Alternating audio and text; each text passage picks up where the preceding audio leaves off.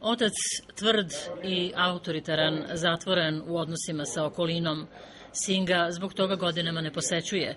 Kada dođe do njihovog susreta, otac je već teško bolestan. Vraćaju se sećanja, preispituje moralnost, vređuje se slabiji, veliča se jednoznačna snaga odlučivanja. Mlada hrvatska spisateljica Nina Mitrović slojevito je otvorila bolno pitanje zašto su sinovi i očevi večito u ratu i međusobnom nerazumevanju. Ova borba između e, oca i sina, to je dio svakodnevice.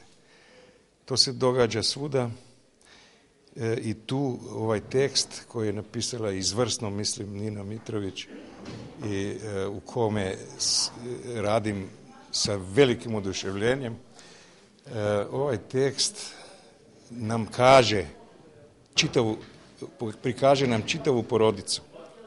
Samo, ali tekst je samo između oca i sina. Ja mislim da, da sam mnogo naučio iz ovog teksta. Nina Mitrović je genijalka.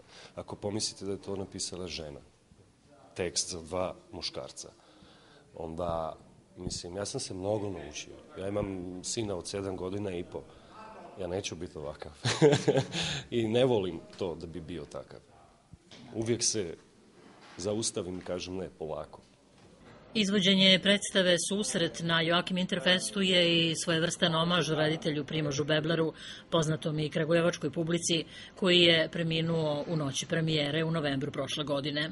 Sarađivao je sa našim pozorištem i sa našim ansamblom prilikom pripreme predstave Hladnjača za sladoled. Ta predstava je premjerno izvedena 15. februara 2013. godine Dan teatra i naši glumci dan danas pamte tu saradnju sa Primožom kao jednu od najlepših i najlakših u njihovim karijerama, budući da je Primož zaista bio jedan blagorodan čovek koji je voleo glumce i koji je znao s njima lepo da radi.